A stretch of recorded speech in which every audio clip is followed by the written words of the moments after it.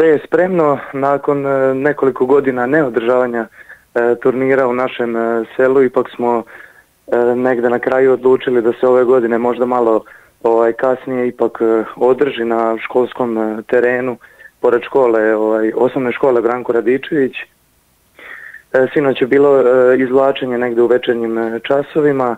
Imamo 12 ekipa koje su raspoređene u dve grupe.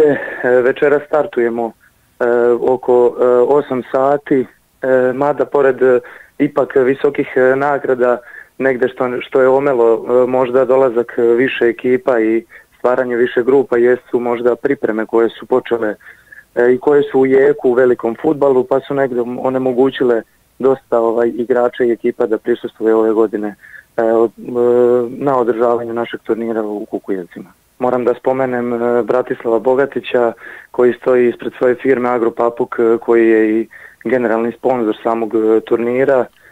Da nije njega ne bi ni bilo ovih baš baš visokih nagrada, ali ipak negdje izgleda da nisu primamile i druge učesnike da se prijavi da učestvuju na našem turniru. Međutim, svi oni koji su se prijavili imaće za šta da se bore, imaće za šta da se dokazuju i da daju sve od sebe kako bi uzeli dali prvu, dali drugu pa i treću nagradu koja je stvarno visoka.